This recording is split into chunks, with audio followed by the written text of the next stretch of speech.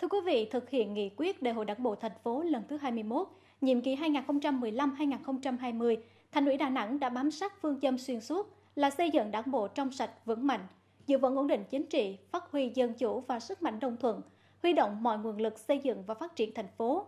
Dù đối mặt với nhiều khó khăn thách thức, cả khách quan lẫn nội tại phát sinh, song đảng bộ đã nêu cao tinh thần đoàn kết, phát huy dân chủ, tạo thêm nhiều dấu ấn mới, trong đó có công tác xây dựng đảng, xây dựng đội ngũ cán bộ, đáp ứng yêu cầu phát triển mới. Ngay sau đại hội 21 Đảng bộ thành phố, Thành ủy Đà Nẵng đã ban hành chương trình hành động, trong đó nhiều giải pháp căn cơ tổng thể được nêu ra. Đặc biệt, khâu then chốt là công tác xây dựng đảng được chú trọng trên tất cả các mặt.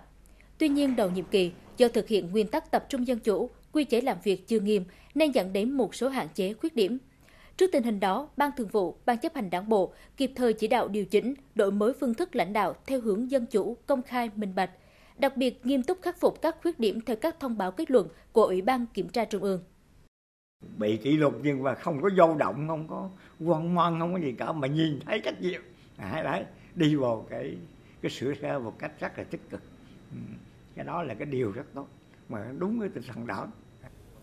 Nhiệm kỳ qua, công tác xây dựng, chỉnh đốn đảng và hệ thống chính trị thành phố được đặc biệt quan tâm, tiến hành toàn diện, nhất là việc thực hiện nghị quyết Trung ương 4 gắn với đẩy mạnh học tập và làm theo tư tưởng, đạo đức, phong cách Hồ Chí Minh, trách nhiệm nêu gương của cán bộ, đảng viên, đề cao trách nhiệm của thành ủy, ban thường vụ, thường trực và cá nhân từng lãnh đạo.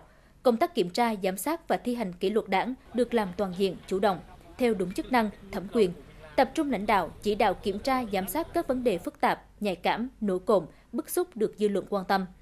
Cũng trong nhiệm kỳ qua, cấp ủy các cấp tiến hành kiểm tra chuyên đề đối với hơn 2.300 lượt tổ chức đảng và 8.700 lượt đảng viên. Đảng bộ chúng ta là cả một cái hệ thống.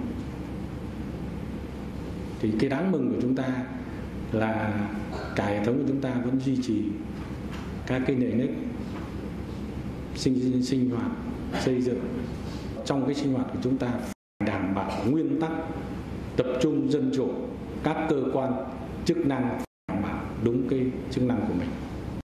Ở mỗi vị trí của chúng ta đều phải hướng tới một công việc làm sao cho nó đúng mực, chuẩn chu. Công tác cán bộ là nguyên nhân của mọi nguyên nhân, là gốc của mọi công việc, then chốt của then chốt. Chính vì vậy, thành ủy đà nẵng đã có nhiều giải pháp đổi mới mạnh mẽ, nhất là tạo nguồn cán bộ trẻ, cán bộ nữ.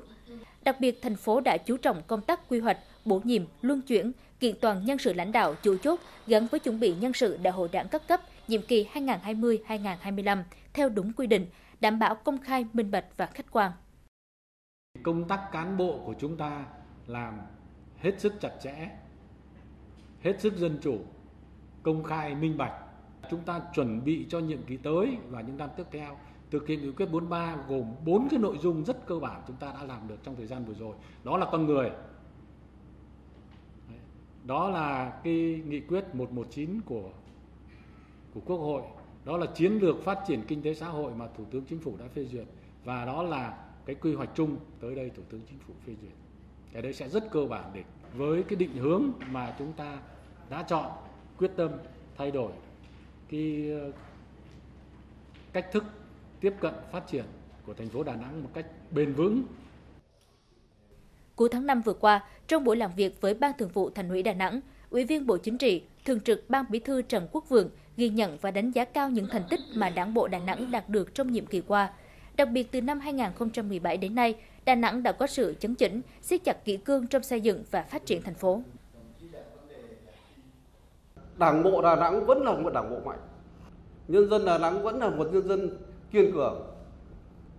Chúng ta không chùn bước. Và sự đi lên sự, sự, sự, sự, sự ừ, chấn chỉnh và ổn định phát triển nó có bài bản nó căn cơ.